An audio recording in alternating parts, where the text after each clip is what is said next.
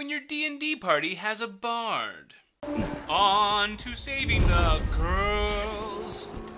Those lovely ladies with curls.